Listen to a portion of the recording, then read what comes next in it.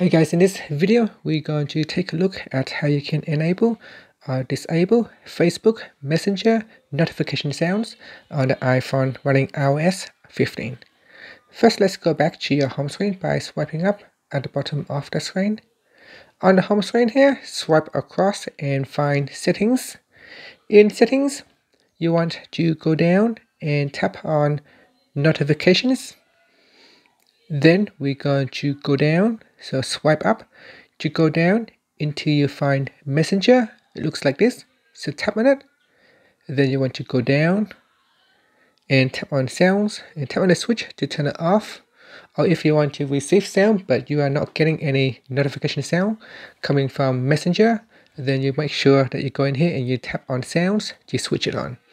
And once it is switched on, whenever you receive a new message from Facebook Messenger, your phone should raise a sound to notify you of an incoming new message. And that's it. You can also turn on or turn off badges as well. And that's how you can turn it on or off on your iPhone uh, running iOS 15. Thank you for watching this video. Please subscribe to my channel for more videos.